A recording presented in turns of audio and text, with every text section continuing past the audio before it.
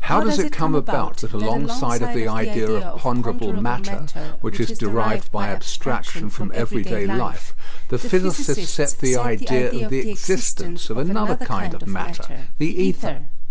The explanation is probably to be sought in those phenomena which have given rise to the theory of action at a distance, and in the properties of light which have led to the undulatory theory. Let us devote a little while to the consideration of these two subjects.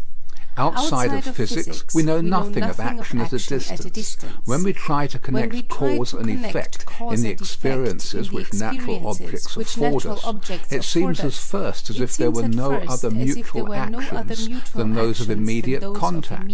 For example, the communication of motion by impact, push and pull, heating or inducing combustion by means of a flame, etc. It is true that even in everyday experience, weight which is in a sense weight, action at a distance, plays a very distance, important part. Important but since part. in daily experience the weight of bodies meets us as something constant, as something, something constant, not linked to any cause which is variable in time or place, we do not in everyday life speculate as to the cause of gravity, and therefore do not become conscious of its character as action at a distance.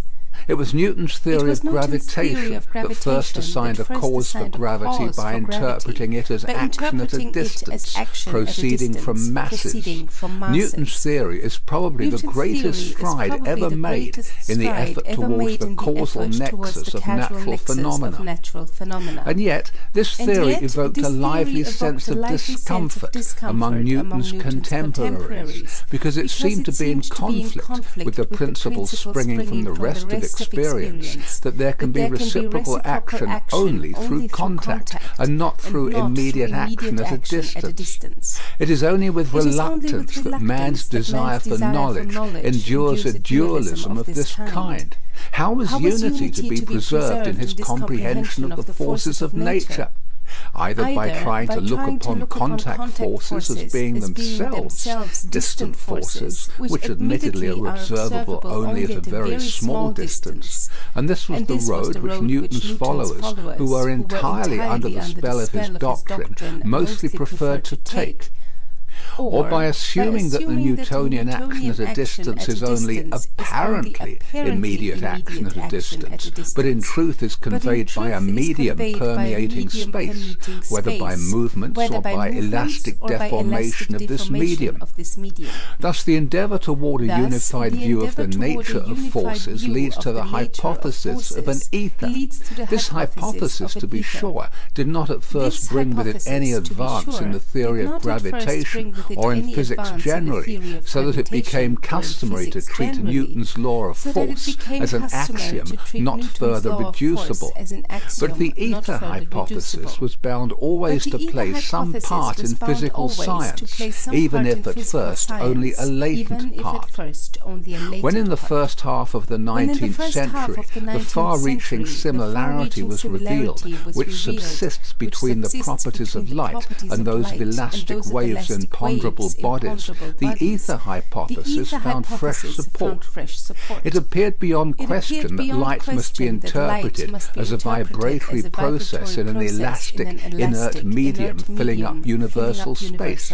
It also seemed to be a necessary consequence of the fact that light is capable of polarization, that this medium, the ether, must be of the nature of a solid body, because transverse waves are not possible in a fluid, but only in a solid. In a Thus, solid. the physicists were bound to arrive at the, theory of the quasi-rigid, luminiferous ether, the parts of which can carry out no movements relatively to one another, except the small movements of deformation which correspond to light waves.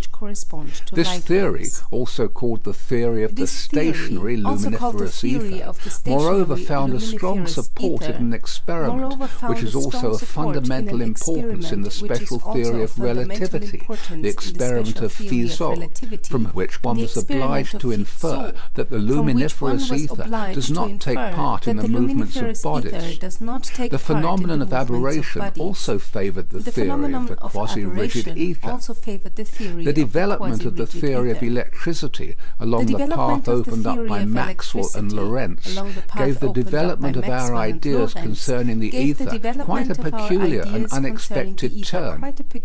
For Maxwell himself, the ether indeed still had properties which were purely mechanical, although of a much more complicated kind than the mechanical properties of tangible solid bodies.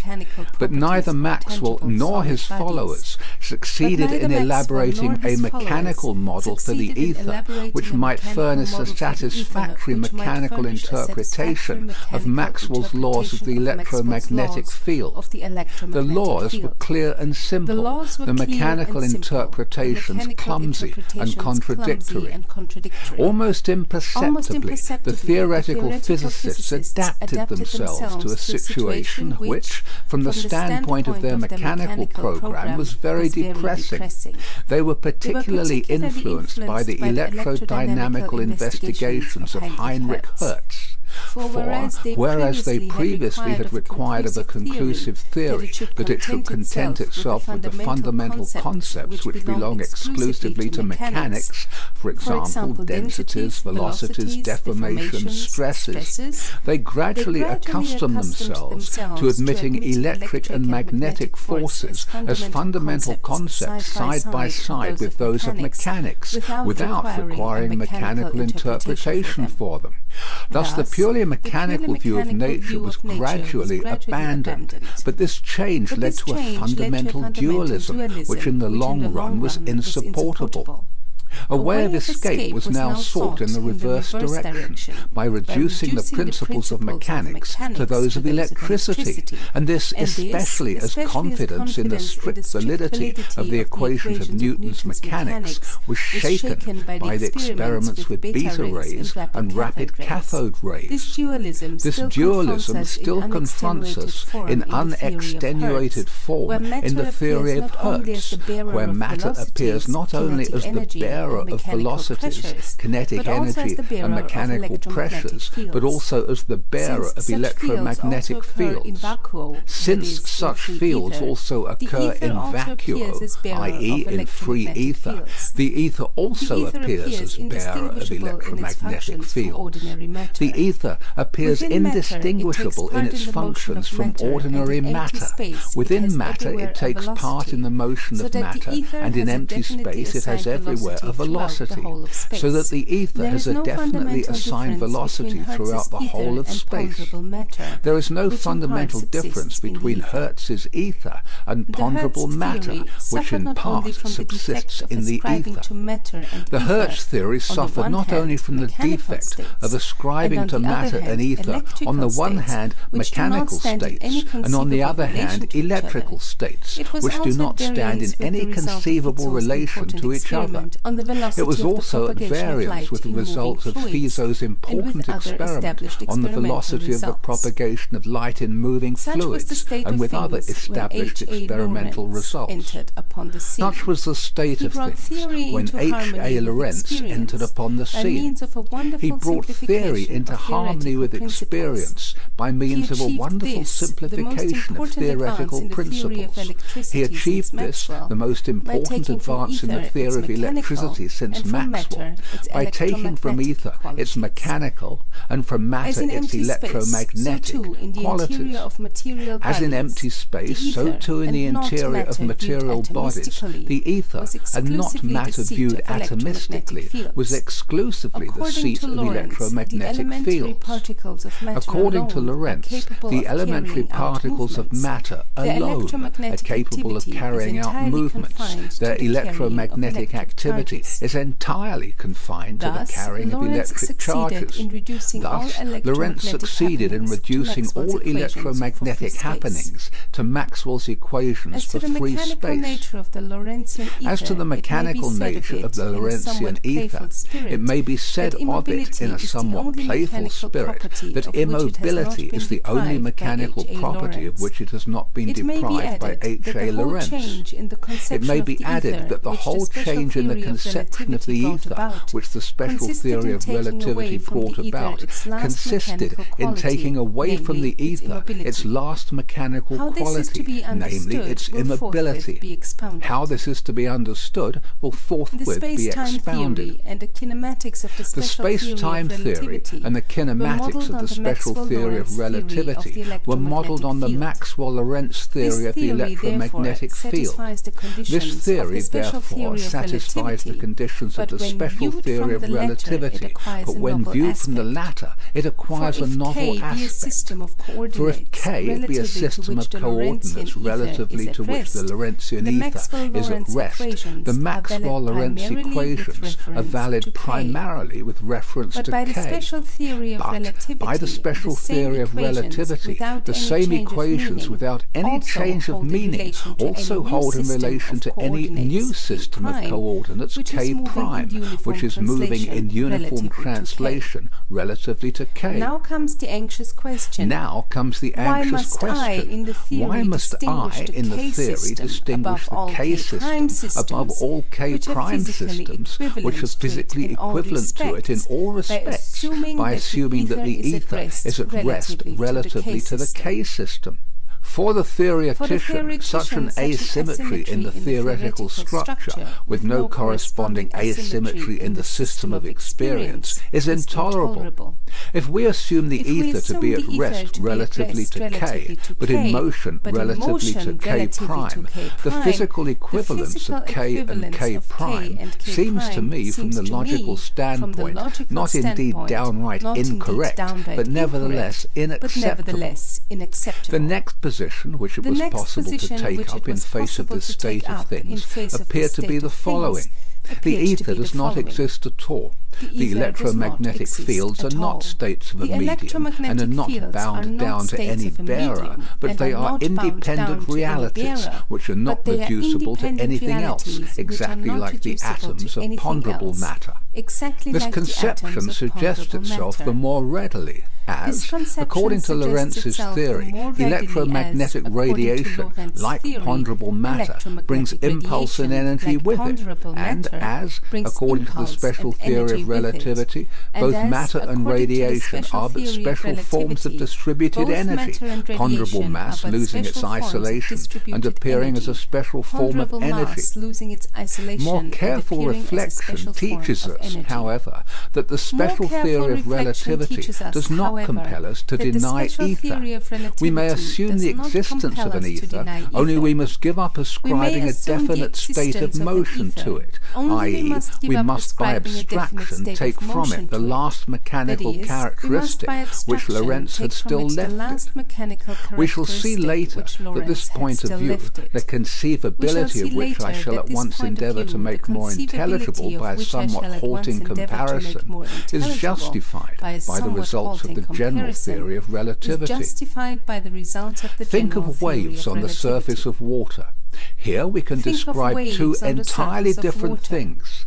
Either we may observe how the undulatory surface forming the boundary between water and air alters in the course of time, or else, with the help of small floats for instance, we can observe how the position of the separate particles of water alters in the course of time. If the existence of such floats for tracking the motion of the particles of a fluid were a fundamental impossibility in physics, if, in fact, nothing else whatever were observable than the shape of the space occupied by the water as it varies in time, we should have no ground for the assumption that water consists of movable particles. But all the same, we could characterize it as a medium. Particles. But all the same, We have something like this in the electromagnetic field. For we, we may picture like the field to ourselves as consisting of lines of force. if we wish to interpret these lines of force to ourselves as something material in the ordinary sense, we are tempted to interpret the, dynamic processes as motions of these lines of force, such that each separate line of force is tracked through the course of time. It is well known, however, that this way of regarding the electromagnetic field leads to contradictions. Leads to contradictions. Generalizing, we must say this. Generalizing, there may be supposed to be extended physical objects to, to which the idea of motion cannot be applied. They may not be thought of as they consisting of particles which allow themselves to be separately tracked through, separately tracked through time. In Minkowski's idiom, In this is expressed as follows. Not every extended conformation in the four-dimensional world can be regarded regarded as composed of world threads. The special theory of relativity forbids us to assume the ether to consist of particles observable through time, but the hypothesis of ether in itself is not in conflict with the special theory of relativity. Only we must be on our guard against ascribing a state of motion to the ether. Certainly, from the standpoint of the special theory of relativity, the ether hypothesis appears at first to be an empty hypothesis. hypothesis in the equations of the electromagnetic field, there occur, the in addition to the, the densities of the electric charge, only the intensities of the field. The career of electromagnetic processes in vacuo appears to be completely determined by these equations, uninfluenced by other physical quantities. The electromagnetic fields appear as ultimate, irreducible realities and at first it seems superfluous to postulate a homogeneous isotropic ether medium and to envisage electromagnetic fields as states of this medium. But on the other hand, there is a weighty argument to be adduced in favor of the ether hypothesis. To deny the ether is ultimately to, assume that empty space has no physical qualities whatever. the fundamental facts of mechanics do not harmonize with this view, for the mechanical behavior of a corporeal system hovering freely in empty space depends not only on relative positions, distances, and relative velocities, but also on its state of rotation, which physically may be taken as a characteristic not appertaining to the system in itself. In order to be able to look upon the rotation of the system, at least formally, as something real, Newton objected objectivizes space. Newton objectivizes space. Since he classes his absolute space together with real things, for him, rotation relative to an absolute space is also something real. Newton might no less well have called his absolute space ether. What is essential is merely that besides observable objects, another thing which is not perceptible must be looked upon as real to enable acceleration or rotation to be looked upon upon as something real. To be looked upon it is true that real. Mach tried to avoid having to accept as real something which is not observable by endeavouring to substitute in mechanics a mean acceleration with reference to the totality of the masses in the universe in place of an acceleration with reference to absolute space, but inertial resistance opposed to relative acceleration of distant masses presupposes action at a distance and as the modern physicist does not believe that he may accept this action at a distance, he comes back once more, if he follows Mach, to the ether, which has to serve as medium for the effects of inertia. But this conception of the ether, to which we are led by Mach's way of thinking, differs essentially from the ether as conceived by Newton, by Fresnel, and by Lorentz. Mach's ether not only conditions the behavior of inert matter, masses, Mass but either, is also conditioned in its state by them. Masses. But Mach's idea finds its full development in, in the them. ether of the general theory of relativity. According to this theory, the, the metrical of the qualities of the continuum of space-time differ in the environment theory, of different points of space-time and are partly conditioned by the matter existing outside of the territory of under consideration. This space-time variability of the reciprocal relations of the standards of space and time, or perhaps the recognition of of the the fact that empty the space in its physical relation is neither homogeneous nor the the isotropic, fact compelling us to describe its state by ten functions. The gravitation potentials G, compelling Mn, us to describe has, I think, finally 10 disposed of the view the that space is physically empty. But therewith the conception of the ether has again acquired an the intelligible content, although this content differs widely from that of the ether of the of the mechanical ether has undulatory theory of light. content. The ether of the general theory of relativity is a medium which is ether of itself devoid of all of mechanical and kinematical ether of qualities, but helps to determine mechanical and medium which is electromagnetic of events.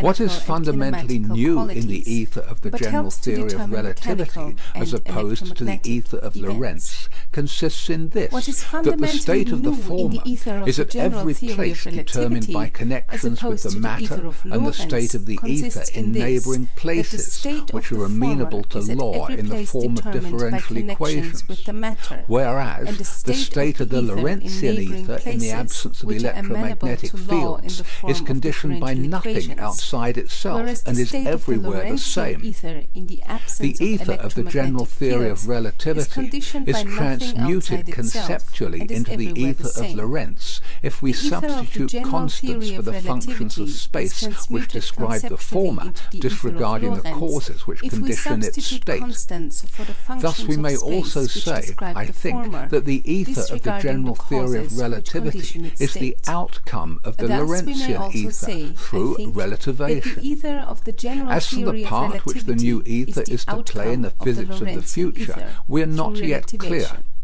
We know that it determines the metrical which the new relations in the ether is to play in space-time physics the continuum, future, for example, the configurative possibilities of solid bodies, as well as the relations in the gravitational fields, continuum. but we do not know whether it has an essential share in the possibilities of structure of the electrical as well elementary particles constituting fields. matter. But we do not know Nor do we whether it know whether it is only in the in the proximity of of ponderable masses that its structure differs essentially from that of the Nor do we Lorentzian know ether. whether it is only Whether the, the geometry of spaces of cosmic extent is approximately Euclidean. essentially from that of the Lorentzian But we can assert by reason of the the of relativistic of equations of extent gravitation that there must be a departure from Euclidean relations with spaces of cosmic order of of magnitude if there there exists a a positive mean density, no matter how spaces of small, of the of matter in the universe. If there In this case, the universe density, must of no necessity small, be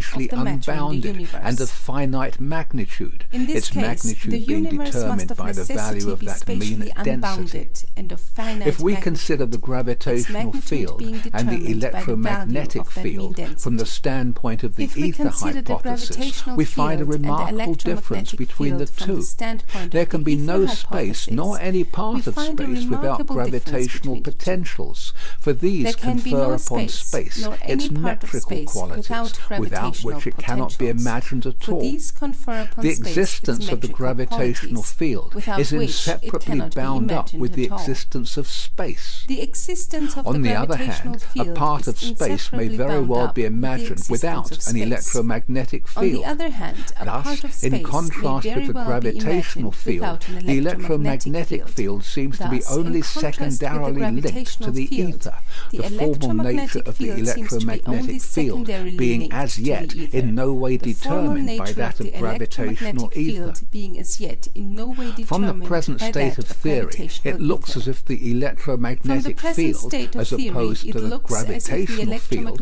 rests upon an opposed to the entirely new formal motif, as though nature might just as well have endowed the as though nature gravitational ether with fields of quite another type, for with fields of example, with fields of a scalar potential instead of fields of the electromagnetic magnetic type. instead of fields of the electromagnetic Since according to our present conceptions, Since the elementary particles of matter the are also, in their essence, nothing else than condensations of the nothing else than electromagnetic field. condensations of the Our present view of the universe presents present two view of the realities which are completely separated from each other conceptually, separated from each although connected causally, Although namely connected causally, gravitational namely ether and electromagnetic ether and field, electromagnetic or, as they might also be called, might space and matter. space and matter. Of course, it would be a course great it would be a advance if we could we succeed could in succeed in comprehending the comprehending the gravitational gravitational field and the and the electromagnetic electromagnetic field together together as as one unified unified conformation.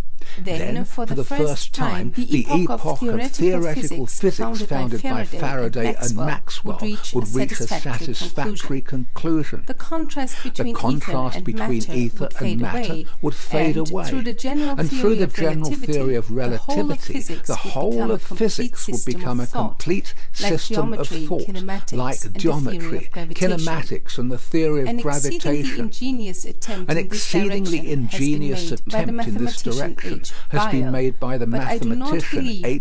Weyl, theory will hold but I do not believe that his theory will hold its ground in Further, relation in to contemplating reality. the immediate future Further, of in theoretical contemplating physics, the immediate we ought future not of theoretical unconditionally to physics, reject we the ought not possibility that the unconditionally facts to comprised in reject the possibility theory that the may facts set bounds comprised to in the quantum theory may set bounds to the field theory beyond which it cannot we may pass. say that according to the general theory of Recapitulating, relativity, we may say that according to the general theory of relativity, space sense, is endowed with physical qualities. In this sense, According therefore, there exists an ether. relativity, According to the general theory of relativity, space without ether is unthinkable.